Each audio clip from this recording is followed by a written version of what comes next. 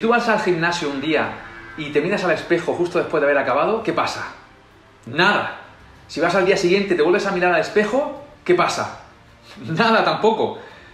Lo que estás haciendo es perseguir un objetivo que no te va a llevar a ningún sitio, que te vas a sentir mal, porque día tras día vas a ver que ese no es el camino. Que no te vas a poner en forma en dos días mirándote al espejo yendo al gimnasio nueve horas. No se trata de eso. Se trata de trabajar de forma inteligente, tanto en el gimnasio como en tu vida real.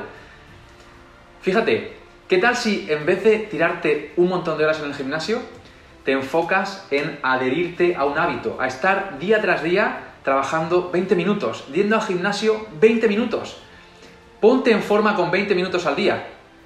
De esa manera podrás cambiar tu vida. ¿Sabes una cosa? No se trata de intensidad, se trata de consistencia, de fuerza de voluntad para conseguir ese, objetivo, para conseguir esa identidad.